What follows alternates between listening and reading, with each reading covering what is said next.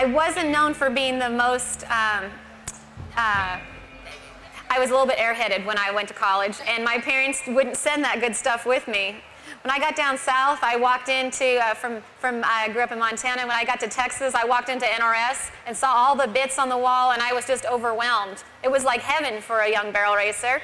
I picked out probably seven or eight new bits, bits that I'd wanted to try that were completely different from my parents' spade bits and the ported uh, larger bits. I didn't have as much luck at first. I didn't really know what I was looking for because I was out on my own trying new things. What I learned was that I needed to learn a lot more about bitting. Uh, it didn't come, uh, you know, it's not just something that you uh, pull a bit off the rack and go and use it on your horse and it usually works. It takes a lot of experience and study. So it encouraged me to do that through giving my clinics. I wanted to provide a line of bits that were consistent and had a theory and a, and a story behind them to help people hopefully pick out the right bet next time. What I found out in teaching clinics is that a lot of people don't know the basics of bitting and how horsemanship ties into it. So I'd like to give you just a, a small um, instruction tutorial on how to pick out the right bit and the theories behind that. In our culture, um, we usually break horses in a ring snaffle, meaning that when we put the bit in the horse's mouth and we pull on the rein, it's really an elementary level of, of uh, communication for the horse to pull on the side of their mouth, sideways or in one direction, and they can understand when they're getting broke how to turn their head, and that's how we break them. Of course, in some, you know, in California, the vaquero culture, they used to break them in the bozals, and some people still do, and then they'd graduate into the ring snaffle. For performance horses, when we put pressure on them, we distract their mind, and sometimes we are also a little uh, less aggressive with our cues than we need to be. So when horses step up into the performance ring and we start running them, a lot of times a horse, because through the pressure and the, and the um, speed, they're powerful animals, and they have a tendency to push into the bits and get heavier mouth or have um, some de delay in reaction to their cues. What can help us to keep a softer, softer hands and a better mouth on our horses is to ride in what I call a curb bit. Any bit that has a curb chain on it is what I call a curb bit for reference. The mechanics of a curb bit, if you take any notes off this, I highly recommend remembering this ratio. Uh, the parts of the curb bit that are important are the top of the bit from where the mouthpiece attaches to the shank or to the cheek um, to where the headstall attaches. That's called the purchase. The other part of the bit, or the shank, the cheek, is called the shank, and the shank is actually the bottom part from where the mouthpiece, mouthpiece attaches to where your bit attaches. The ratio that I was referring to is the difference between the, the length of the purchase and the length of the shank is what gives you control. Because when your shanks are hanging loose or at zero degrees, when you're not picking up on your reins, I call that zero degrees. When you pick up from zero to 45, I believe that's the area where your horse gets his first signal of your cue. A real, real well-trained or sensitive-mouthed horse should give you a, a, a cue or re respond to your cue from that initial picking up on the bit before the curb chain engages.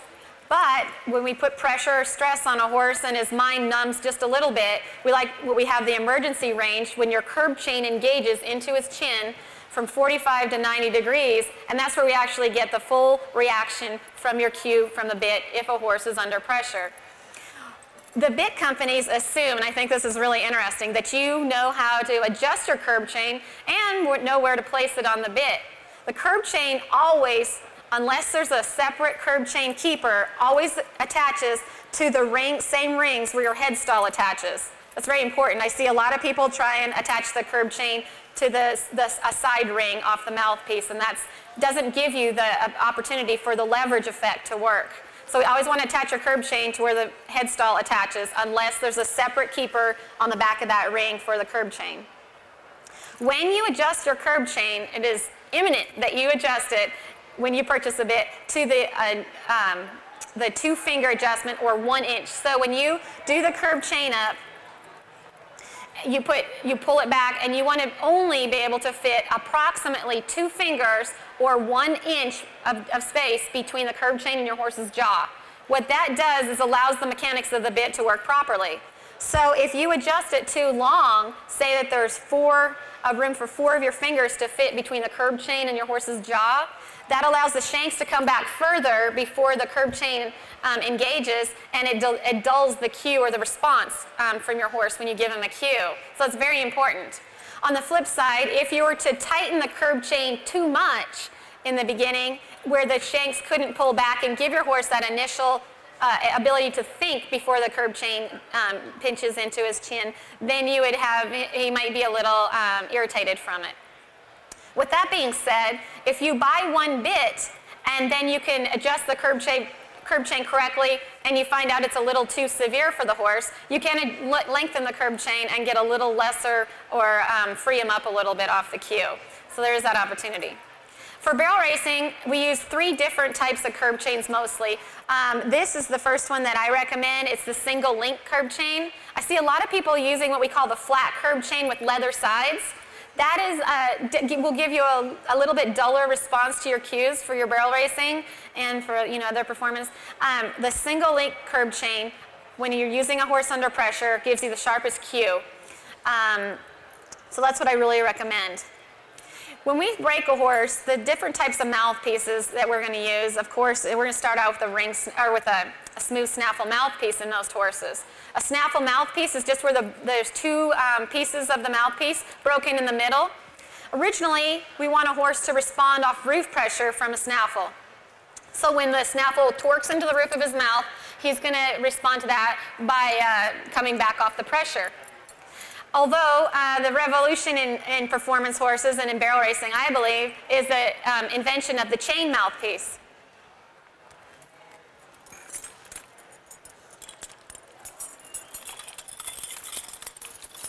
A lot of horses want to put their head up in the air when they have torque from a snaffle mouthpiece.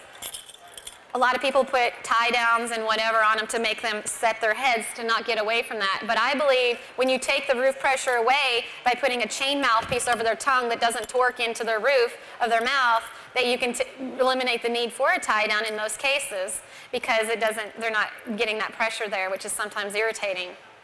Um, in 2004, I borrowed a horse called Slider. And my good horse Shadow got hurt um, prior to the NFR. Slider was trained in a ring snaffle, like I mentioned before. He hit a lot of barrels. He was really hard to ride, but he was a winner. Well, I got on him, and he was just way too much horse for me. I felt like I was going to hit a lot of barrels in the Thomas and Mack. So my husband had just a ported rope and bit in the trailer, and um, I stuck that on Slider and practiced him one day and felt like I could run him in it. And so he went from a ring snaffle to a, a long shank ported, ported bit like this one, and we won the national finals rodeo. What lesson that taught me was the ability to lift a horse off their front end by using a port or a floating spade. Um, it didn't necessarily mean that I put the curb chain really tight and had a ton of control, but his, the reaction I got from that horse being on his front end and wanting to drop in and hit the barrels changed when I put the port in his mouth. It elevated his front end and allowed for me to handle him and keep him from dropping into the turns, and it you know, allowed us to win. Um, so it's really important to know your mouthpieces.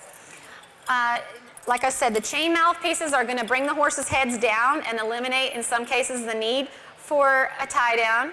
It'll also um, provide a more focused reaction, I believe, because when a horse has his head up in the air and he's not paying attention, I think that's you know, hard for them to focus on their job. But if you have a horse that really wants to drop and get heavy into his mouthpiece, you know, the ports or the snaffles can help you. Um, different shanks. Uh, this is a longer shank bit, what I would call on a scale of 1 to 10 about a 7 or an 8 in control. That ratio, the difference between the purchase, which is the part above the mouthpiece, to the shank is what's going to give you all your, all your difference on control versus a shorter shanked bit like this one, which I would call a control level of about a 3 or a 4. A ring snaffle I would call a control level of about a 1 or a 2 because if it doesn't have a curb chain, it's your hands to your horse's mouth. Has anyone ever worried about getting their horse's mouth too heavy because they have heavy hands themselves? I feel like the key to that is probably maybe a little bit opposite of what you may think. It's all about muscle memory. For models, they insure their faces. Um, that's the most important thing. The most valuable thing on a, on a model is their face. For a competitor, a barrel racer, your hands, it's all about your hands. If you have the best hands, the barrel racer with the best hands and the best timing is the winner. And that's because it's all about muscle memory. If you ride with good bits and plenty of control, subconsciously your hands will become lighter because you know what kind of reaction you're going to get from your cue.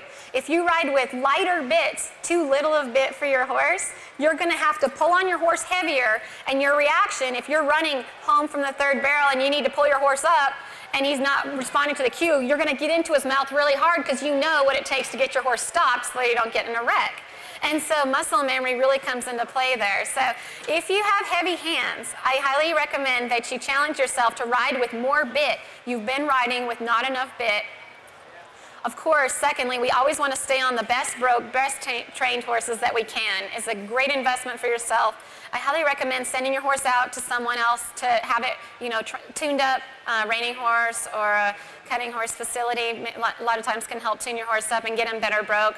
But the bottom line is if you have heavy hands, you're not riding with a strong enough bit. At first, when you put a stronger bit on, because your muscle memory may be too strong, your horse may sound or feel really sensitive to your cues. But over time, you will be, you'll gain confidence and your hands will become lighter. Um, so I hope that's given you a few ideas about bitting and barrel horses. Now, do you have any questions? Well, I'll tell you what I do. So it seems to me that a lot of it has to do with horsemanship. So tell us a little bit about um, when you transition your horses from the, you know, the, the, the O-ring to that shorter cheek right there to this cheek. What, how do you prepare your horses for that transition? That's a really good, that's a really good question. And there's definitely an exact timing to jump your horse up in bits. Um, I, can, I can give a general rule of thumb that our four-year-olds are going to be riding in what I call my rookie bit. Uh, my rookie bit is uh, the difference in ratio between the purchase and the shank is about a one to one.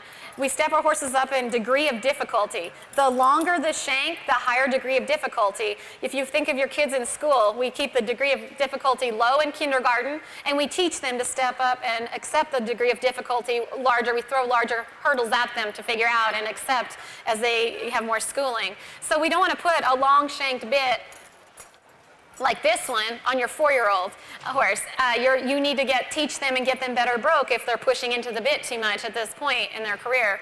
However, when you start running your horses, you know at five, six, and seven, that's a real critical age when we're putting more pressure on them, stepping them up in, in, the, in the competition ring. It's important to step up. If your horse steps into a turn, pushes into his pocket, shoulders a barrel, or if he's not taking to, cow into the barrels, rating them, if he's wanting to run by and lose focus, that's when I'll step up in, in uh, control. I just spoke to a girl uh, about uh, an NFR rider that's having a little bit of trouble nailing her turns in the, in the rodeo right here she, uh, two different riders are riding the horse, and they uh, figured out that they didn't have enough control on the horse because the horse wasn't paying attention.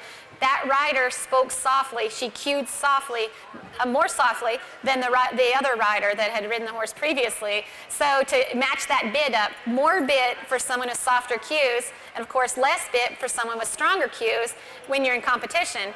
But as far as stepping a horse up, teach them and train them. If they are starting bad habits, stop, reassess your situation, and of course, um, you always want to stay in control, so you're stepping up. A bit like this I would use on a horse that's probably about seven or eight. A lot of times I use a bit like this on a high school horse that's getting a little stiff, shouldering into his turns. Um, these rookie bits, these short shank bits, we're going to use on the horses that have lower degree of education. They may be six or seven, but they have less, they haven't been trained a lot.